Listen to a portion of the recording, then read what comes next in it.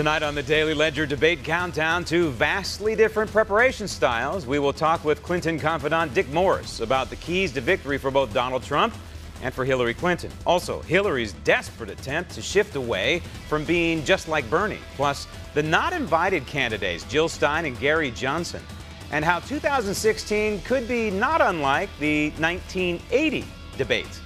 Tonight, at 8 o'clock Eastern.